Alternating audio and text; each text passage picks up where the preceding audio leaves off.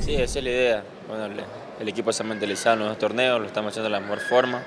Se acerca, bueno, se acerca la recta final y esperando hacer, hacerlo bien el día de mañana y sacar los, los puntos para acercarnos a la liguilla. El equipo Cholos de Tijuana arribó a la ciudad de Querétaro donde el día de mañana enfrentará al equipo de los Gallos Blancos aquí en el estadio de la Corregidora. Para el profesor César Farías viaja todo el plantel, no descarta la posibilidad de tener un cuadro alterno. Sí, sí, sabemos que es una etapa clave donde por ahí ya los errores que tuvimos al inicio del torneo ahora se pagan muy caros y tratar de ganar de, de visitante, ¿no? que por ahí es una cuota que tenemos pendiente los chicos el año pasado y nosotros lo de, de este año también. ¿no? Creo que ganando un partido de visitante, estamos siendo fuerte local, creo que, que vamos a tener un buen promedio para entrar a la liguilla. El equipo de Tijuana está consciente de que los gallos vienen motivados después de su triunfo la semana pasada en contra de los Tigres de la U de Nuevo León. Todo complicado, eh, sabemos lo que está pasando allá, pero bueno, el equipo está metido acá en nuestro trabajo. Hemos trabajado muy bien esta semana para sacar puntos de visitante.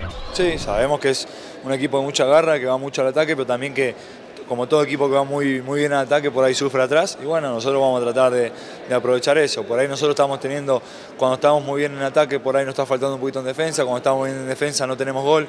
Vamos a tener que tratar de equilibrar esas dos cosas para hacer un buen partido.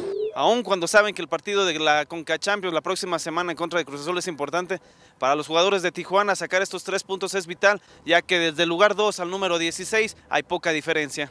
No, llega un momento que mirás la tabla, ¿no? Al principio dejás que fluyan las cosas solas, pero ahora llega un momento que ya te pones a pensar que si ganás te pones en el cuarto lugar, si perdés y te ganan los demás quedas afuera de la liguilla momentáneamente. Ya llega un momento de, del torneo donde ya empezás a mirar.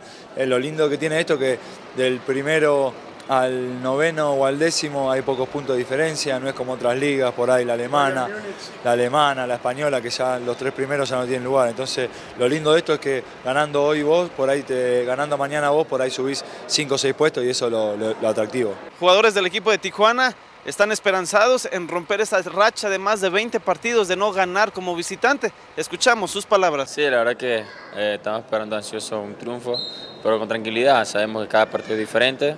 Eh, el equipo viene en alza, con dos triunfos en, una semana y bueno, estamos muy motivados para eso. El equipo de Tijuana busca seguir con ese buen paso que ha tenido en sus visitas aquí al Estadio de la Corregidora de Querétaro. Desde esta ciudad informó para Cadena Deportiva de Grupo Cadena Rodrigo Peguero.